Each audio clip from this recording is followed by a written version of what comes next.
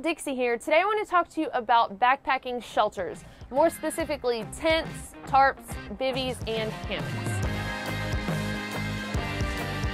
I know when I first started backpacking and I realized that there were several different types of shelters, I was kind of confused on which one would work best for me. So today I'm going to give you a rundown of each type of shelter, some of the pros and cons, and hopefully this video will help you decide what works best for you and your personal preferences and the terrain that you'll be backpacking in. First, let's go over tents because they're the most commonly used on trail and I feel like they have the best weight to price to ease of setting up ratio. Some of the benefits of using a tent are one, they are pretty roomy compared to other backpacking shelters. So I like to be able to set up my tent, crawl inside and just spread my gear out everywhere. I like having that extra space to keep my gear in, especially if it's raining outside, because with some of the other shelters, you may have to keep your pack and other things outside and try to waterproof them.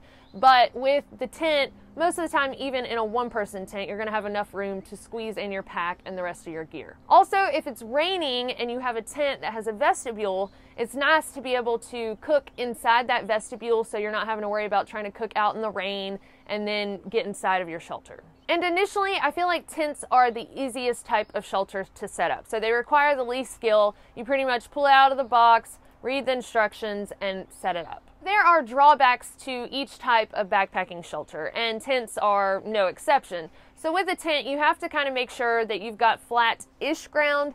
I have certainly set up on some ground that is not ideal for tenting, and then I end up tent surfing all night so my sleeping pad slides or you know I've got a big root in my back or things like that. So you kind of want to make sure that you have a relatively flat, clear spot for a tent. And even if you find a nice, beautiful, flat spot, the ground still isn't always comfortable, especially if you're a side sleeper like me. Your hip can kind of tend to dig in the ground, even with an inflatable sleeping pad, although those do help a lot. And finally, tents are a little bit heavier than some of your more minimalistic options like a tarp. One of the main things I look for in a backpacking tent is the weight, because with any of these shelters, when you're having to tote something from point A to point B, you obviously want it to be functional but as light as possible. So what I target with a backpacking tent is anything under three pounds. There are some more traditional or, you know, old fashioned backpacking tents that can weigh around five pounds or maybe even more. But with the technology today, even if you're on a tight budget, you can usually find something for around three pounds or less that isn't going to completely break the bank. I prefer to go with a three season tent. You'll either see three season tents or four season tents. If you're just starting out, chances are you're not going to be backpacking in the heart of winter. So a three season tent will generally be lighter and will cover you for what you need in the spring, summer, and fall. If you're gonna be backpacking alone like I do, I go with a one to two person tent. I prefer the two person because usually for not that much more weight, you get a decent amount of extra room again to spread your stuff out or roll around, you know, whatever you want to do in your tent. And then the final thing I look at is the vestibule slash door situation. So I definitely want a tent that has a vestibule because as I mentioned before, on rainy days, I like to be able to cook in the vestibule. Also, it just gives you room if you wanted to put something out there for some reason and have it not get wet while it's raining. Now, if you're a couple that's gonna go backpacking together, I recommend having a tent that has two doors, one on either side, and two vestibules, one on either side, because I have used the backpacking tents before that sleep two people, but only has one door and one vestibule on an end and I feel like you're just going to disturb your partner more getting up and going pee in the middle of the night. Also, if you're both trying to cook in the vestibule, things can get a little tight with the elbows and stuff. So I just think that's something to look for if you're going to have two people in one tent together. Another variety that you'll see among tents is that some of them are freestanding, some of them are what I call semi freestanding, and then there are non freestanding tents. A freestanding tent is a tent that stands alone without staking. Now, of course, it could still blow away in heavy wind, but it, it sets up and basically supports itself with its own designated tent poles. The good thing about these tents is that if you're setting up on something like solid rock or extremely loose sand, that you don't have to worry about, you know, having to stake it down for it to be rigid and for it to be taut. Now, the issue is these tents are generally a little bit heavier because they're more sturdily built, so it might be hard to find one that's three pounds or less. And then also, a lot of these don't have vestibules. You can purchase a vestibule sometimes to attach to one, but then you're adding weight on an already not lightweight tent. An example of a sub three pound freestanding tent, though, is the Black Diamond First Light two person. Next up is the semi freestanding tent. Basically, the body of the tent, so the part that's going to have like the mesh and the part that you actually physically sleep inside of, sets up with designated tent poles and that part is freestanding. Now the rain fly which goes over it and usually creates the vestibule on the tent will have to be staked out. So I guess the negative side to this is that you will have to use stakes to set this up properly, especially if you're going to be in a rainstorm. Some examples of the semi-freestanding tents that I have used are the Big Agnes Fly Creek UL2 that I used on my through hike of the Appalachian Trail. And then in Washington on the Pacific Crest Trail, I use the Nemo Hornet one person. And next up is the non-freestanding tent. With these tents, they require guy lines and stakes and usually either trekking poles or limbs if you get in a bind, but they do not typically have a designated set of tent poles, which saves a lot of weight. If you want to learn more about trekking poles, I have a video that covers them in detail on the channel. But trekking poles aren't a necessity for backpacking, it's just that most people do use them, especially for longer trips. So even though non-freestanding tents are typically set up using trekking poles, most manufacturers have the option to buy dedicated poles for those specific tents. I did notice when I used my first non-freestanding tent that they do initially take a little more skill to set up, but once you get the hang of it, it's just as easy as anything else. An example of a non-freestanding tent is the Z-Packs Duplex that I used on most of my PCT through hike and my CDT through hike. The next thing to consider is whether you want a double wall tent or a single wall tent. So what I mean by double wall tent is you have the mesh body of your tent and then you have the rain fly over the top of it. So that's one wall, two walls. One of the things that I really liked about having a double wall tent was being able to just sleep in the mesh body part and look up at the sky and see the stars if it wasn't a rainy night, and I still had protection from bugs. Also, the double wall tents are pretty well ventilated because the condensation that comes from your body and the moisture in the air and all of that will collect on the rain fly of the tent and then run down to the ground rather than collecting on the inside of the tent, you know, on the only wall and then being a problem if you brush up against the side of the tent. Now, all tents are going to have some kind of condensation, but double wall tents just do a little bit better with that. Another benefit of a double wall tent is that they are typically a little bit warmer on the inside. They keep you more insulated. And I kind of did an experiment with this, not intentionally, on the CDT. Aaron Perk and I were all camped out in the same area and Aaron and I both had single wall tents. Well, Perk had a double wall tent. And it got surprisingly cold that night, and all of us slept with our water filter outside of our sleeping bag because we just weren't expecting the temperatures to dip down low, so we didn't protect them. And Aaron's filter froze and my filter froze, but Perk's filter did not freeze. There are a lot of variables that could be considered in this. You know, maybe Perk produces more heat, or maybe that one certain spot that Perk was at was magically a little bit warmer, but um, you know, I really do think that the fact that he had a double wall tent and we both had single wall tents did play into that. They do tend to run a little heavier than a single wall tent made out of the same material because there is more material. And then also I find that the double wall tents take a little longer to set up because you're putting up two separate pieces rather than one piece, you know, all together at once. And in the rain, if you set up the mesh body and then you have to take the time to pull out the rain fly and throw it over, in my mind, they can get a little bit more water on the inside while you're setting up than a single wall tent that is made out of a waterproof material that just goes up and you're not really having the floor of the tent exposed as much. Most double wall tents are made out of nylon or polyester. Nylon is typically stronger and a little heavier than the polyester, but that means it can sag a little more and collect more water in heavy rains. You may also see tents made out of something like sil nylon or sil poly, which just means it's nylon and polyester that is impregnated with silicone. Single wall tents are basically constructed so that the mesh part and the rainfly are just all together in one piece. So in general, with having just a single wall, less material means less weight. Also because they usually set up with trekking poles, you're gonna save weight of designated tent poles. And as I mentioned before, I think that they're a little bit better for setting up in the rain.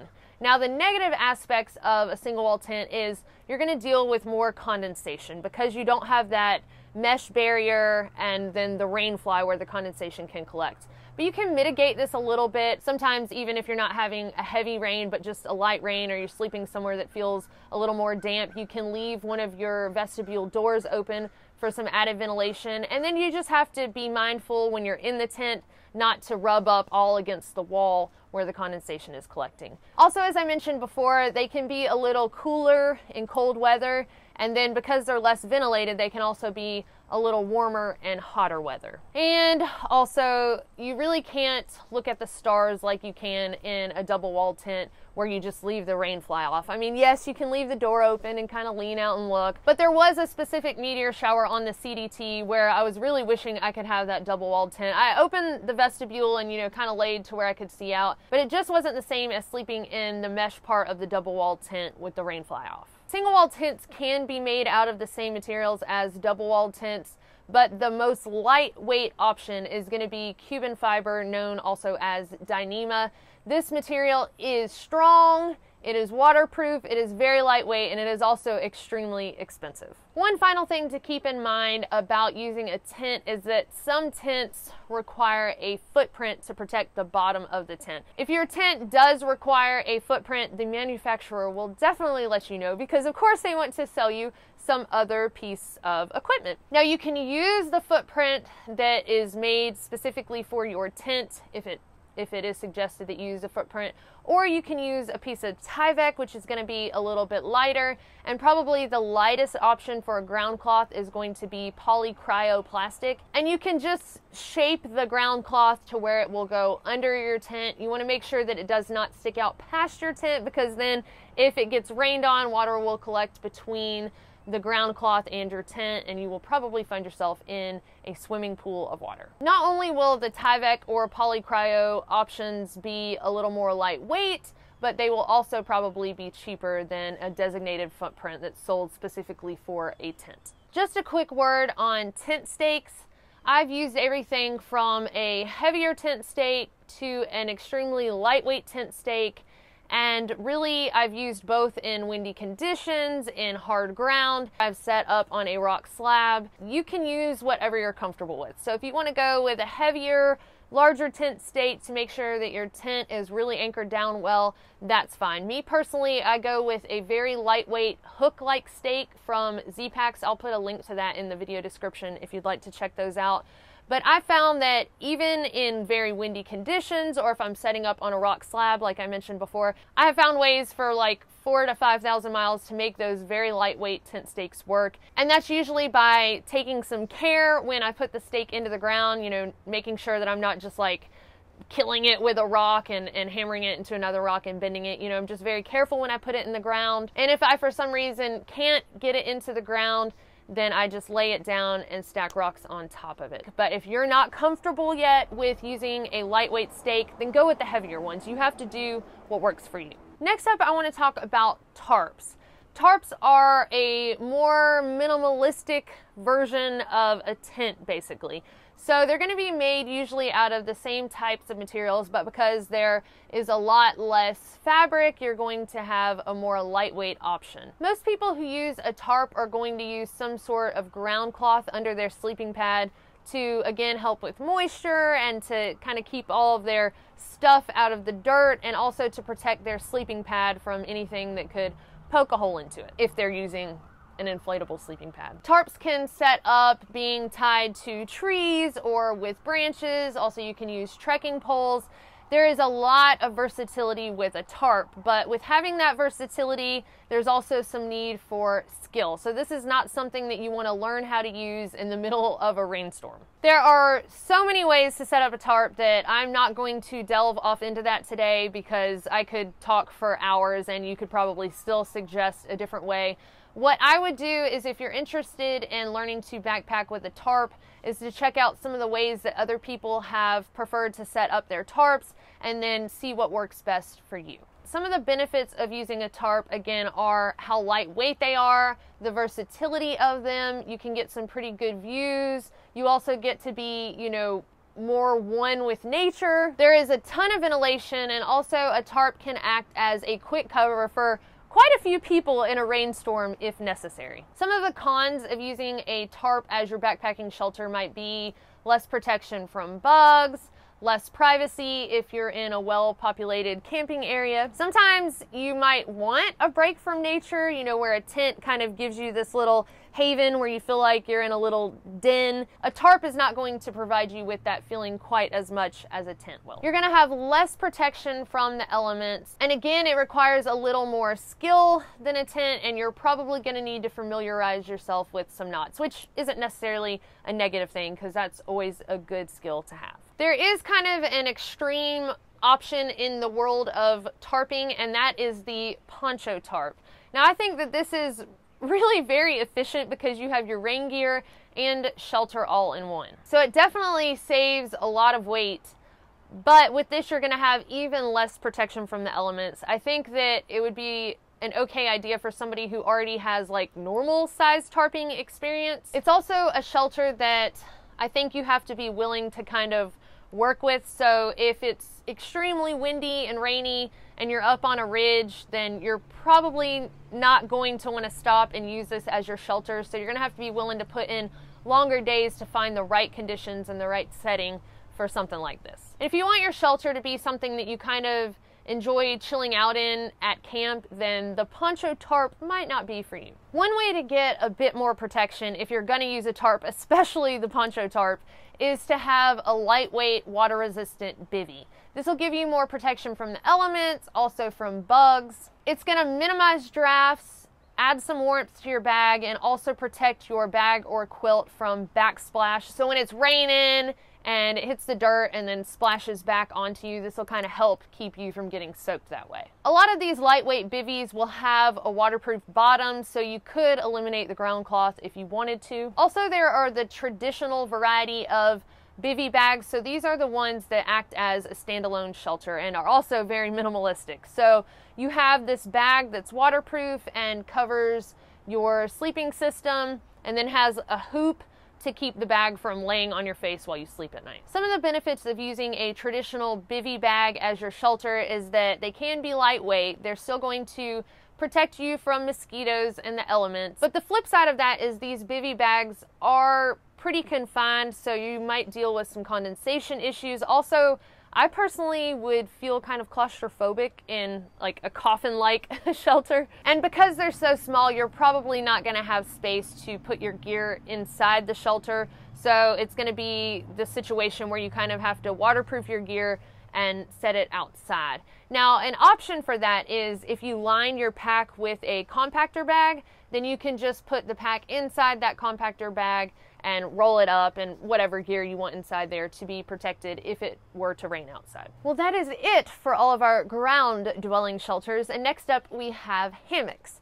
The hammock community is ever increasing in size as time goes on, and I've had a lot of people tell me that their favorite thing about sleeping in a hammock is how comfortable the hammocks are and how well they sleep at night. In fact, I've had a lot of people say that they thought that they were never going to be able to backpack again because sleeping on the ground just wasn't an option for them anymore because of a bad back. But after discovering hammock camping, then they were able to start backpacking again. Other than the comfort of sleeping, it's also nice to have a hammock after a long day of backpacking that you can just set up and lounge in at camp. It's very convenient to have a hammock in an area that's extremely rocky or rooty as long as you have some trees to set up in because it doesn't matter what the ground is like, you're going to be hanging out in the trees anyway. But on the negative aspect side of things, you do have to have trees to be able to set up your hammock. You're also not going to be able to spread out as much as you would in a tent if you have a hammock.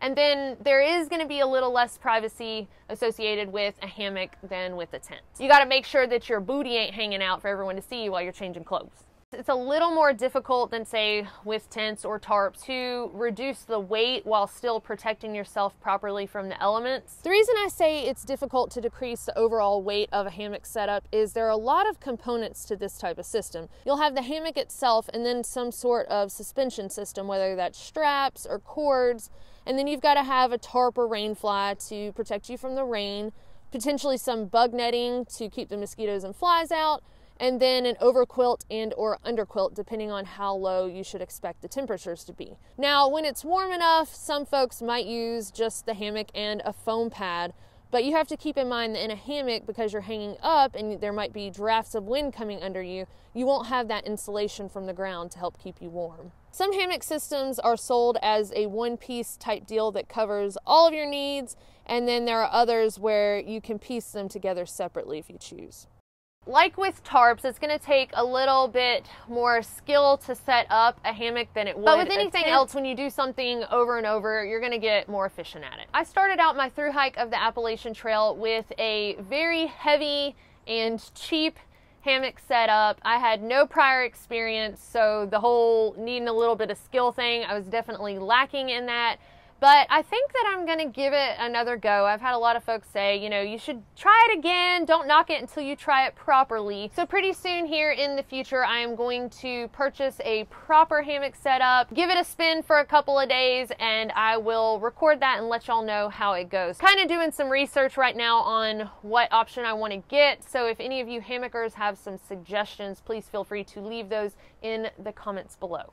I've always heard that the Ultimate Hang is a great resource if you want to learn more about hammock camping, and they have an updated version, the Ultimate Hang 2, available now, so I will put that in the video description if you want to check it out. For those of y'all who are just getting into backpacking, I know that this was a lot of information all at once to think about backpacking shelters, but just as a summary, if you're looking for something that's relatively simple and light and reliable, then you might want to opt for a tent. If you're looking for something that's more minimalistic and as lightweight as possible and you don't mind it requiring a little more skill, then you might opt for a tarp. And finally, if you're truly looking for the best way to be comfortable while backpacking and to get the best sleep at night, then you might want to try out a hammock. Just like with all backpacking gear, your shelter is going to boil down to personal preference. And for those of y'all who are watching today who are more experienced with backpacking, please feel free to share in the comments what shelter you use and why you think it's the best option for you because